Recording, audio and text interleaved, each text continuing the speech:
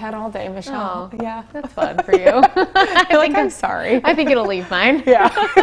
maybe you showed us the new Justin Timberlake music, so maybe. Yeah, go Google that again and listen Okay. to it. That is a really good song in case you missed it. Well, Michelle's here with us uh, with lots of pictures. She's showing us. Keep sending them our way. Yes, we have some delicious ones Yeah. to show you, starting with from Jean. I also remember the other day was National Yeah. Popcorn Day, so she took our suggestion. Does this look Good, good? that's great. Also, this fits well because movie theaters are reopening, so maybe you don't, you know, want to make popcorn. Did you did you hear what Elliot did with his popcorn? No, He I would did take not. a. I mean, this is pre-COVID, but he Yeah. would take a straw Oh, and do the cheese or the and butter? put it in the butter, so then that would go down into the bottom of the That's popcorn. a tactic. It is, People but I wonder that. if they're even allowing you to get your own butter now. I, I don't know. I If cannot somebody speak goes, on can you guys let Let us know what the butter Yeah. situation is. Jean made the butter popcorn at home. Thank you for sending this, Jean. She watches every morning too.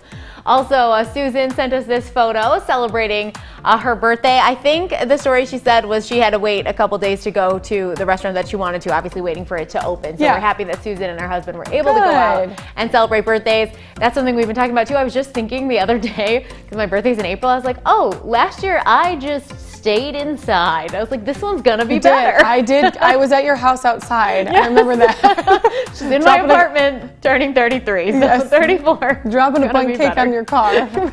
Desperate times. Yeah, this actually, uh, the next photo is pretty good. Uh, pandemic photo too. I love this. Okay, so you're looking at this, right? It is beautiful. It is pecans and fruit and some granola. This is the charcuterie board that Becky made for her wildlife that lives by her house.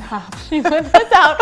So like, this is a beautiful zoomed in version of the photo, but the actual picture is just really, really big and you can see the snow and ice around it. Isn't Becky amazing? That's really cool. That's more impressive than I can do. I know, I love it so much. Yeah, so keep sending your pictures our way. Morning Mug Club, a question of the day too. We've been talking about the lottery. Mm-hmm. We want to know what is the most you've ever won?